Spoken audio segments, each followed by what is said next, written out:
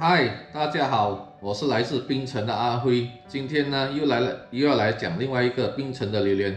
这是冰城的一六八哦，它不是呃那个 D 一六八。如果是讲 D 一六八呢，就是我们的来自柔佛的那个 Rohomas，或者另外一个名字叫做 IOI 黄啊柔佛黄金哦那个榴莲。可是这个是冰城的一六八不同，所以这个刺呢，你看看就是这样的哦。就是它的也是比较长圆形，然后呢刺也是幼的哦，然后是凹进去凸出来的那种哦。OK，然后这粒榴莲呢也是我第一次试，然后那个第一这个一六八呢，它的下面呢，你看它的下面是凹进去的哦，比较特别的它下面是凹进去，你看五个这样凹进去的哦，然后就是这样的哦。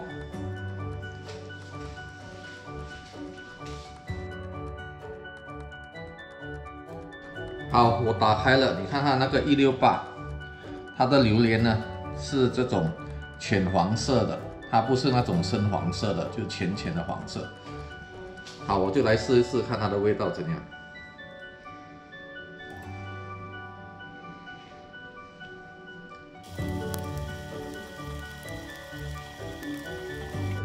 好，我吃了几粒，然后这个榴莲呢是很苦的。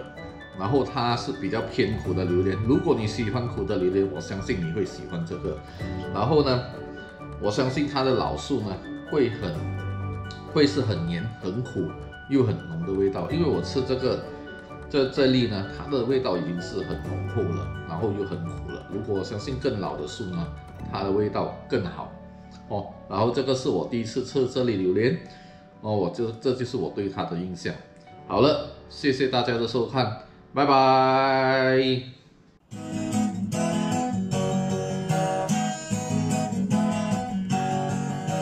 三十年、五十年、一百年嘅老树，经过去嘅口啊，梗嚟食得出啊，边一棵树黑翅猫山王，六零四吉布里、河利、昂热、斜贝加、的卡，龙汤就加料啊，加料味奇香。有人叫佢出书，谂下谂下，食饱不如做猪，把粉一横做个丢丢白，同个掌门人嘅 Super，劲高黄明志 s t e a d y 滚 B B。会，我的会，让我叫你一声宝贝，让我天天陶醉在你怀里，你就是我。的。